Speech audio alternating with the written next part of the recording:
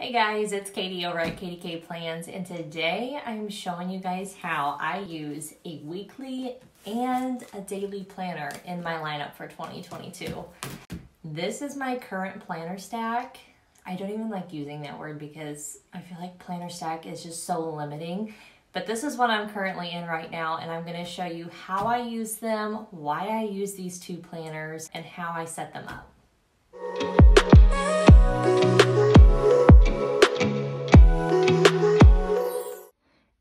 So here are my two planners that I am currently using. I have an A5 plum paper vertical priorities. I absolutely love this. I had this in the 7 by 9 last year, used it for 2021, more so as like a content, just kind of like a catch-all planner and loved it. And then I'm like, I need to order another one for 2022. So ordered this, got it probably like mid-January and started using it, have been using it ever since. And then I also have a 7 by 9 Erin Condren Daily Duo. This is brand spanking new for me. This is like completely new territory. I am used to using the Erin Condren Hourly. I've used the Erin Condren Vertical and love it. I love their paper. It's just an overall great planner that they create um, over at EC. So I've randomly decided to try this out. I have ultimately used a plum paper daily. I've used um, the Mäksēlife Undated. I've used the EC Petite Planners, the Simplified Daily. I've used all of them. Um, and nothing has really like stood out to me. I liked the Mäksēlife Daily, but I just kind of got tired of the cover. I got tired of like writing my times in. I just needed something that was a little bit more structured um, and not so many different things happening all in one page. I decided to try this one out. I ordered this one off Amazon because I'm terrible at waiting and I wanted the prime two-day shipping. So um, you get the two packs. So this was the January to June. Then you get the July to December. You get to pick your covers. They're not personalized, obviously, but it did still come with the welcome pack. Still had the coupons with them. So it was actually really nice. And it was here in two days. So you can't beat that. So let me tell you why I'm using a weekly and a daily, and then we'll just kind of jump in and see how I set them up and how they work best for me. So I use this weekly planner. It is kind of like my catch-all. I was using the monthly view as well in this one, but I've learned that the A5 calendar size just doesn't really work for me. I like being able to use whatever stickers I want. And then plus with plum paper, the header up here is so tiny that it's hard to find like specific sticker kits for it. So um, for February, I didn't even set it up yet. Um, I can't remember if I ordered a sticker kit for February or not for the A5, but it's not even here yet, and I'm not going to worry about it if I did. The weekly view I use as just a general overview. I do not get really drawn out in my list. I don't write a bunch of things on it. This is literally, I can look at it and be like, yep, that's what I had to do for the day and it's simply an overview. For my daily, this is basically, I like to tell people that this is like my zoomed in view of my weekly planner. So I didn't have it in time for January. I believe I started this literally on Sunday that it arrived. So I received this on Sunday and I, I even, I planned it at the same day and I love this planner so much. I did not know if I would like the 7 by 9 size, but I really wanted to use like my 7 by 9 covers that I had already had, and I wanted the full size of the monthly view. That was one of the biggest takeaways for me, and so that's why I got it. So this was the first spread that I did, and I'll just kind of walk you through some of these spreads. And then I do like that you have like little note sections, like this was a live with Lauren Jen on Instagram. And I just think it's, it's really nice. I do wish there was more notes pages in it because I'd like to have like dot grids or something like in the back so I can, I don't know, just like make more notes than what it offers. Um, so here's my monthly view. This is just a Planner Kate sticker. I've got some Krissyanne Designs um, celebration stickers on here simple. I just keep track of bills. I don't like go crazy, but it's enough stickers to like really spruce it up, which I like. So here are some more daily pages. So this is really just a zoomed in view of my week. So this was February 1st. So let me pull up February in my planner here. Um, let's go to actually February 7th. So I'll walk through this really quick just so you can kind of get a general overview. Like some days I don't have a lot going on. Other days I do.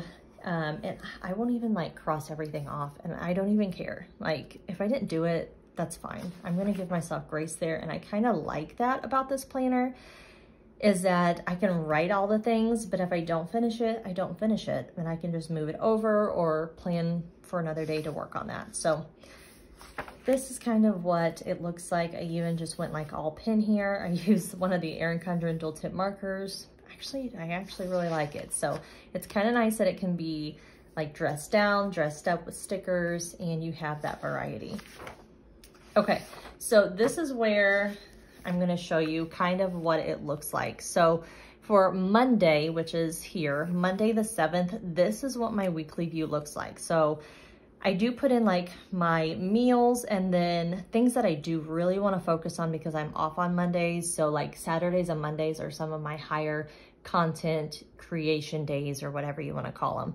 And then I did have some priorities. I wanted to run errands and drop off a package. So that's what my Monday looks like in my overview, my weekly overview. And this is what it looks like in the daily. So it's basically just like a zoomed out version of my weekly. So I have all of my to-do list here. You can see I do not write them out over here. And then I have all the things I wanted to do for my content. I have everything that I wanted to do to tidy up, things at home. And then over here, you know, I'll put um, drop off package, which obviously didn't get done that day, even though that was my top priority. It happens. So that is what it looks like. And I just really love the look of this. So here's Tuesday. Again, you can see work. And then I did have, we have like church prayer here. Um, and then just some work things that I really wanted to catch up on. Catch up was my focus. Um, so that's what I did at mostly at work. And then I did get some stuff done. There's Wednesday, Thursday, Friday, Saturday, and Sunday. So I'll show you Saturday as well. I didn't write anything on Saturday because honestly, I don't know like what my weekends are going to look like. I am one of those people that in the daily, like this could be Saturday and Sunday for me on one page. It would not bother me. I know I'm probably in the minority on that. I just don't do a ton of things on Saturday, Sunday. So um, I just kind of wish it was all on one page, but again, I know I'm probably in the minority. So I didn't have anything written here, but for Sunday, literally all I had was 10 a.m. for church. We are going to go out for lunch, and then we did have a Super Bowl party. I really didn't get to plan too much, and this is what my Sunday looked like. I just took some mildliners, some pins, wrote down a little blurb about what we did. That was literally my to-do list, and we just enjoyed time together with friends, played some games, watched the game, ate good food, and that was it. So that's kind of how my overview looks. And then up here for this week, I did use this as an actual habit tracker. That's kind of how I've been using it. And then I do sometimes, and I just, yeah, it's right here. I did use that here and it's the same thing, but I just kind of wanted to carry it over with me. Let me see if I can find those habit tracker sticky notes. So here's what the habit trackers look like that I use. This is a smaller version. This is from Mäksēlife. I really, really like this one. It just comes in this little sticky pad. I did cut it down to kind of fit in this section here, but it would fit perfectly down in this little corner of your EC Daily Duo. Again, this is 7 by 9 Don't know how it would really fit in the A5 Daily Duo square, but this is kind of what it looks like in an A5 size. And then this is the cloth and paper one. I really like this one too, but it is a little bit bigger.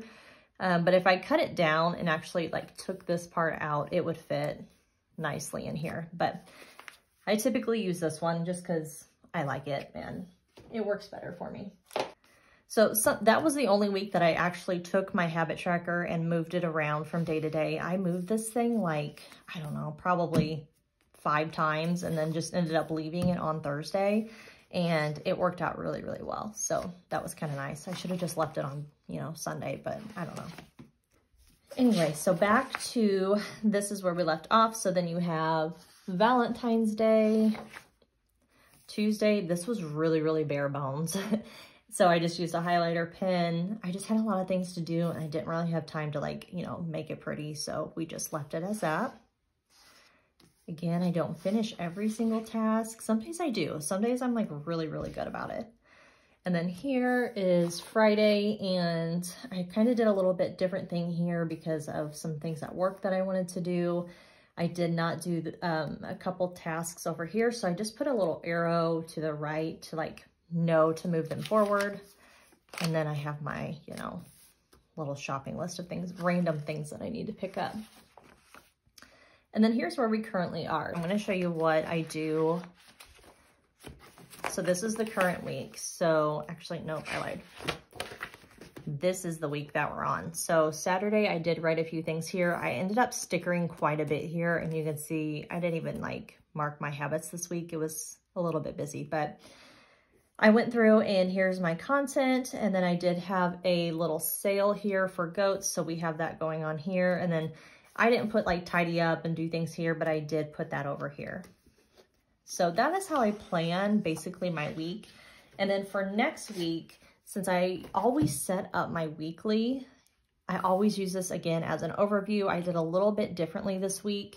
Kind of went back to my roots of just like some minimal stickers. Um, this was fun, but it's not really what I do all the time.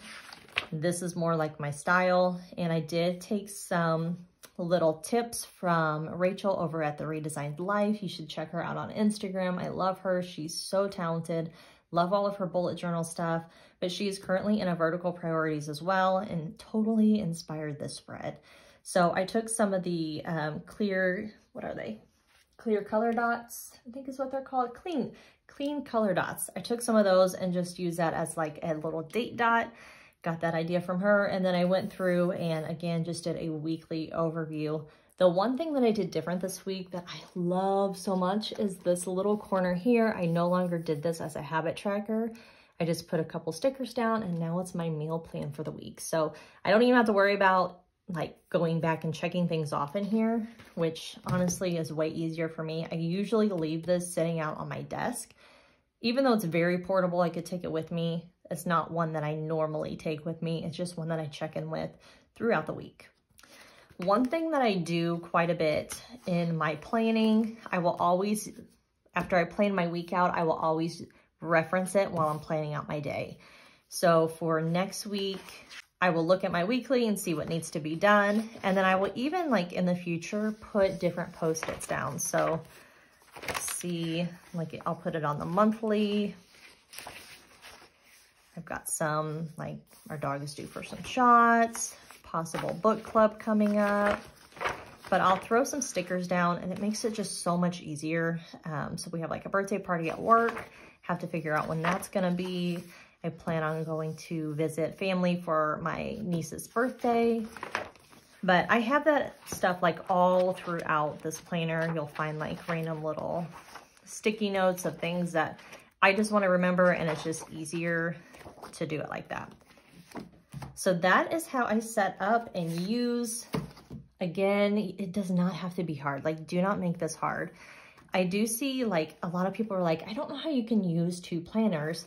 Well, what they're trying to do is put all of their to-do lists and everything in this planner, then they're duplicating it and putting it in a daily planner. And yeah, that would be kind of, you know, a lot of work. If you like to do it, do it. But I do see that that could be a lot of work because I was previously doing that until I like told myself, no, I've got to use this strictly as an overview and that's just how it works best for me. So just to show you some of my old weekly spreads, this one was an absolute favorite. I love the highlighters and pins. I do try to like sticker every once in a while, but it just doesn't happen all the time. This one was like a super busy week, so it was not pretty. Love this one.